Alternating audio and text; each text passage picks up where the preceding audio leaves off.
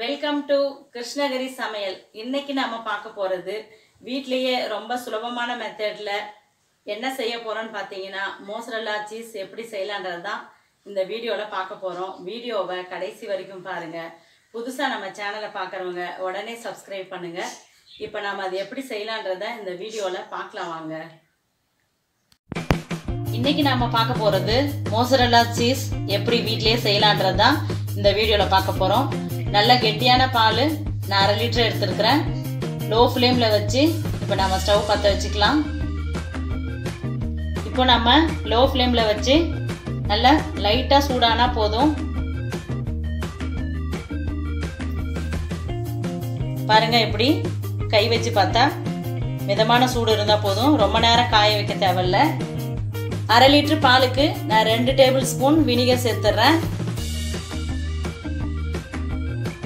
இப்போ நம்ம லைட்டாக அந்த மாதிரி கலக்கி விடுங்க. ரொம்ப நேரம் வந்து கரண்டி போட்டு கலக்காதீங்க.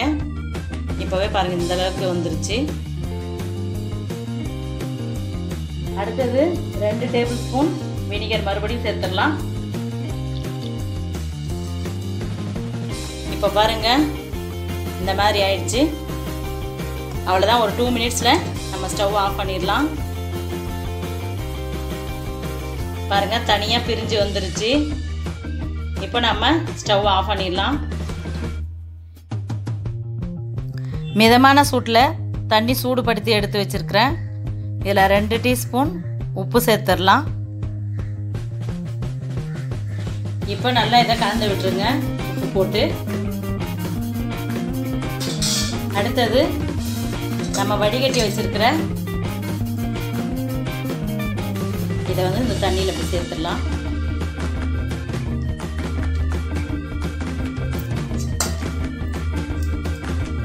நல்லா இப்படி அழுத்தி விட்டுருங்க. லைட்டாக அழுத்துனீங்கன்னா போதும்.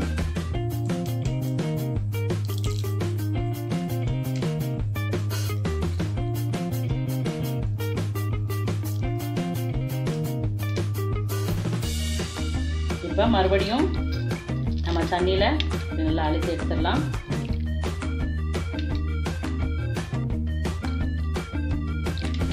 இப்போ நம்ம இதை நல்லா அலசி எடுத்தாச்சு. சுடு தண்ணியில்.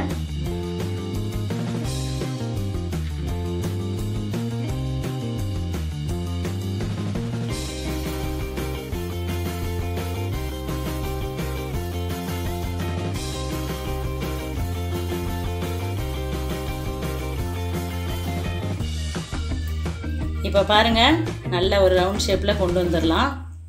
நல்லா லைட்டாக பிழிஞ்சு பிழிஞ்சு எடுத்துருங்க. ரொம்ப அழுத்த வேண்டாம். இப்போ மறுபடியும் நம்ம ஒரு முறை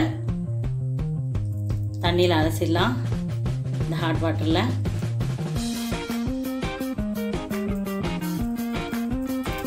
பாருங்க நல்லா அழகாக வந்திருக்கு.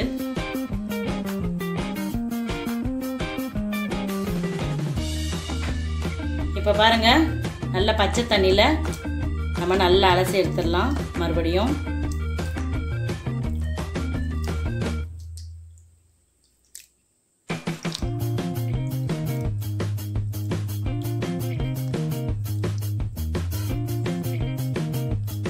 பாருங்க நல்லா இதை அலசி எடுத்தாச்சு.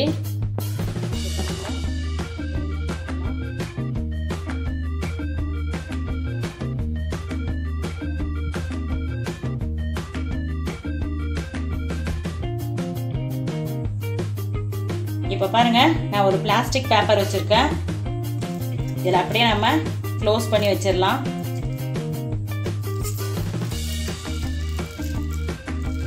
இப்போ பாருங்க இது நல்லா டைட்டாக நல்லா க்ளோஸ் பண்ணி வச்சிடலாம்.